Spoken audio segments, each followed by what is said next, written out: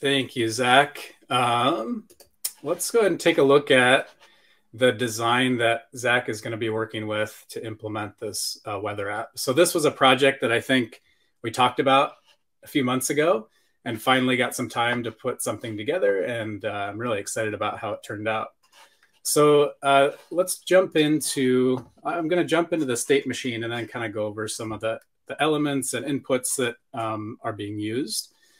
So if we go ahead and play this, um, looking at the inputs, there's this time input that kind of just tracks through the time of the day. Um, and there's a couple animations um, that have some keys set, and it's just blending between those two as you progress through this little number counter. Um, there's also a cloudy toggle. So, um, you know, if it's cloudy wherever you're at, then um, you'll see some clouds.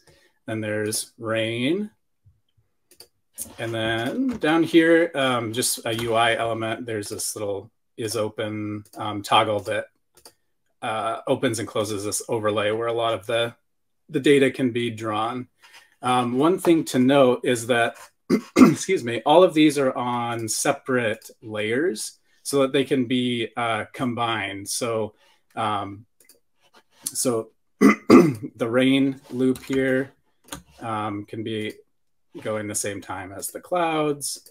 Um, so that allows you to kind of add. So you could have snow, you could have all sorts that you could add like wind effects, and those could all be layered, and you could turn them all on, or you know, turn some on and some off based on the weather at the specific location. Um, so yeah, that's kind of just an overview of of how this file is set up. And I think the most important thing is just uh, to note is these these inputs because for cloudy and Robert will show you like you could do a number of things, but as long as it's cloudy, the cloudy state um, is being set by this boolean, you can kind of do whatever, and your dev, in this case Zach, will be able to just pull that and utilize that uh, that toggle. So I'll go ahead and hand it over to Robert, and he can show you uh, the design that he worked on. Yeah. So um, Michael actually made this really easy. Um, so all I really needed to do was I copied his artboard over here and essentially used his state machine um, to get started. I, have made some changes, um, like our our time doesn't necessarily work the same. He's using a blend state, and I'm using different um,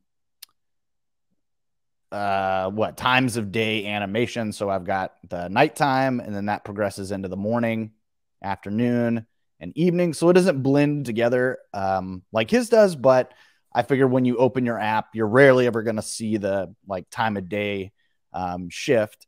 And we can also just like with his i've got the cloudy toggle so it can be cloudy at any point during the day it can also be rainy at any point during the day and our little squirrel friend hides out in the tree whenever it's raining. Um, and then the same is open um, toggle down at the bottom. Um, I think everything else is set up uh, fairly similar. Um, the great thing was that I could make any changes to the state machine that I wanted. And because we kept our inputs the same, I could lay things out how I thought that they would work uh, best for you know what I was trying to build. Um, and again, we just you know everything is on its own layer. So i could add in the squirrel at any time. Um, i could have added in you know deer or you know birds flying around in the background um, all that kind of stuff. So um, yeah the the copying gave me a, a good starting point and um, yeah i just iterated on it from there. And then from there i was just like all right zach take it over and and do your thing